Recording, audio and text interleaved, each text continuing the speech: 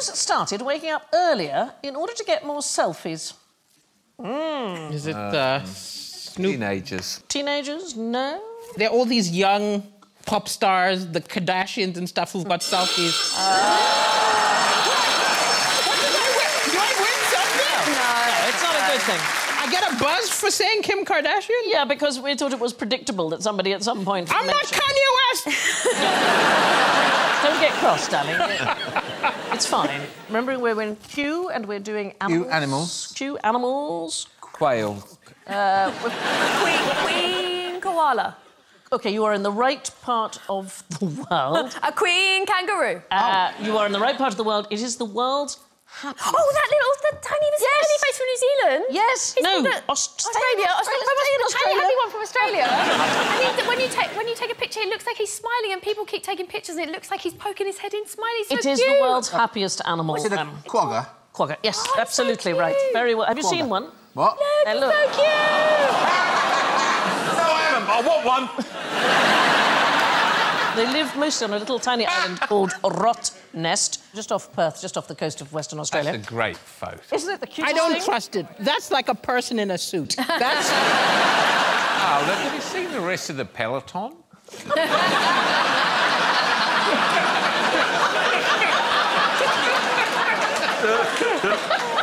Oh, I lost the guys completely. So the quokka, is an Aboriginal word, and the Dutch sailors initially mistook them for giant rats, so that's why the island is called Rottnest. And there are more than 7,400 quokka selfies, uh, which were posted on social media in 2018. So Um, cute. helped by the fact that people like Roger Federer, uh, the tennis player, and Margot Robbie, the actress, both did them. There's Roger Federer with uh, quokka.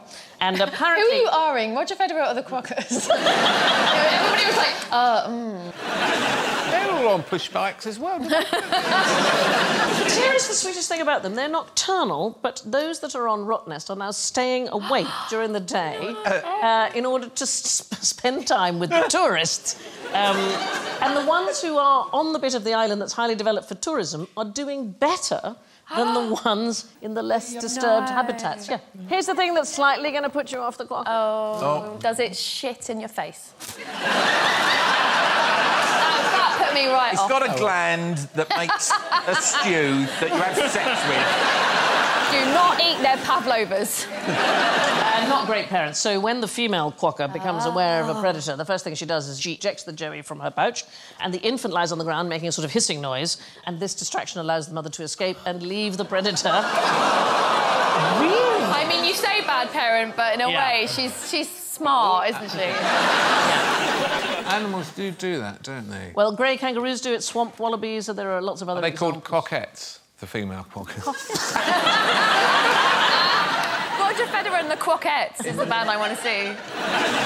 Quokkas get their beauty sleep at night now, so they can always look their best for a daytime selfie. But selfies are dangerous. Oh, yes, they are. Many Yes. people die doing selfies. Also, like, I was given advice by a comedian who said, Oh, if a fan comes and they, they recognize you and they're excited, maybe you, you should say, Oh, do you want a selfie? Because sometimes they're too shy.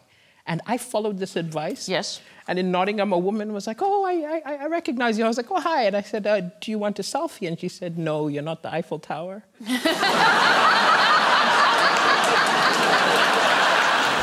Thank you for watching. Do remember to subscribe to the QI channel and click here to watch more videos.